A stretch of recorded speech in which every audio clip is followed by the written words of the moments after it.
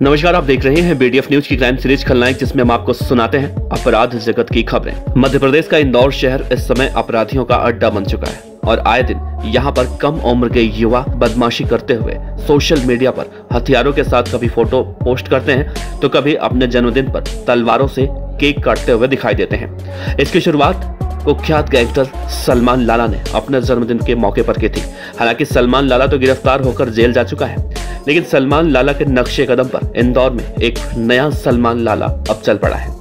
दरअसल इंदौर में एक युवक के जन्मदिन मनाने का वीडियो सोशल मीडिया पर अब वायरल हो रहा है। युवक ने तलवार से केक काटकर अपने अलग अलग वीडियो सोशल मीडिया के इंस्टाग्राम प्लेटफॉर्म पर शेयर किया है। जानकारी के बाद पुलिस अधिकारी मामले की जाँच में जुटे हुए हैं।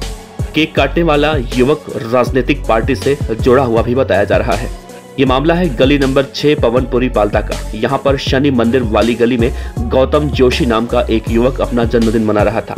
उसके साथ के लोगों ने इसके लिए गली में आकर केक कटवाया, जिसमें उसने तलवार से केक काटा और फिर उसका वीडियो बनाकर सोशल मीडिया पर शेयर भी किया गया। गौतम के साथ इलाके के युवक भी जुलूस निकालते हुए दिखाई दे रहे हैं। गौतम ने अपने वीडियो में खुद को शहर का भाई बताया, ठीक वैसे ही जैसे सलमान लाला बताया करता था।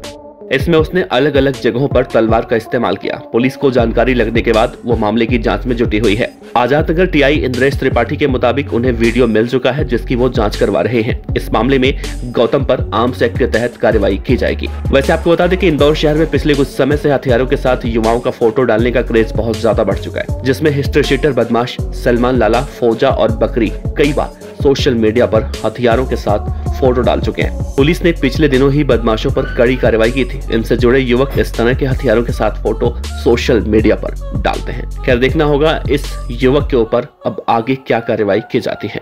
टीम बीटीएफ न्यूज़ खबर अच्छी लगी हो तो लाइक कीजिए सब्सक्राइब कीजिए। साथ ही बेल आइकन का बटन दबाइए। बीडीएफ न्यूज़ की खबरें सबसे पहले देखने के लिए।